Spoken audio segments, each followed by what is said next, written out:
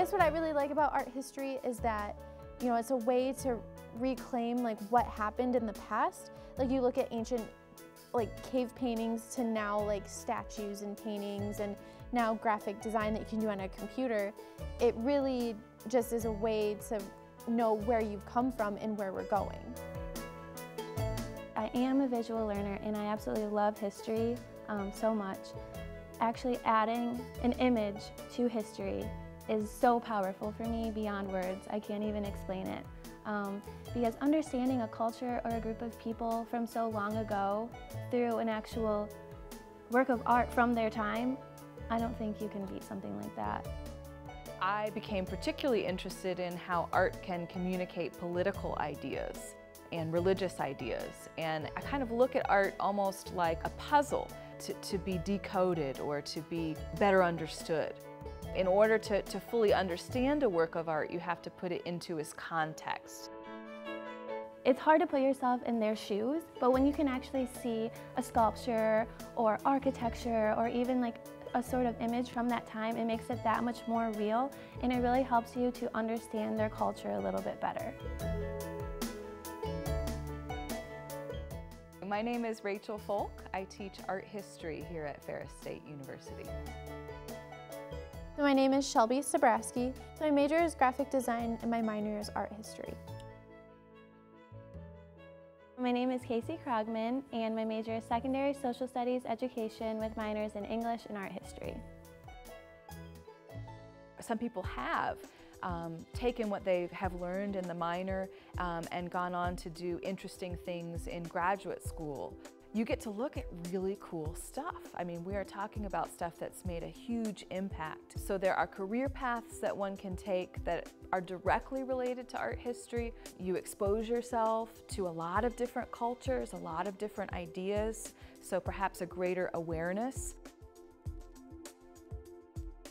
Art history fits really well within education, especially for visual learners, because it gives them a chance to see, actually see an event that happened in history?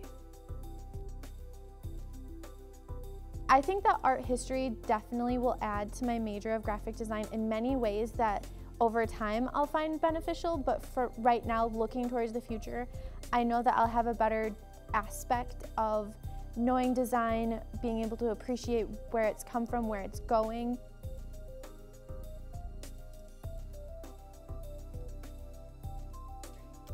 Art historians study works of art to understand human culture and society. We look at paintings, we look at sculpture, we look at works of architecture, um, photographs, prints, and we're interested in the ideas and the values that people want to communicate with these various visual media. It fits really well with um, social studies and English. Um, I feel like art history is something that you can really bring into a lot of different fields. So art historians are really concerned with studying visual culture um, in order to understand um, ourselves and understand our cultural ancestors.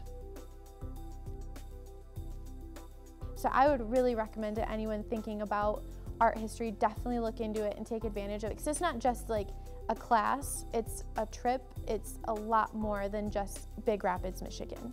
This opportunity through Ferris, you get to go on a study abroad trip and so you get to go way beyond the classroom to really hands-on learn how to classify this art, how to view it, how to appreciate it. You can read all you want in a textbook where here you actually have like proof. You have paintings, sculptures, mosaics, everything. History pertains to so many different parts of society and when you look at literature and writing, you can see, when you look at ancient paintings, for example, you can see that within the painting. You can see what the cultures valued. And especially with history, we can look back at ancient sculptures and ancient paintings. For example, like if you were to look at a document, like the Declaration of Independence, for example, when you can actually fit a painting with that document, which there are paintings that really like fit with that document from the time, um, it really adds such so much more power to a historical event.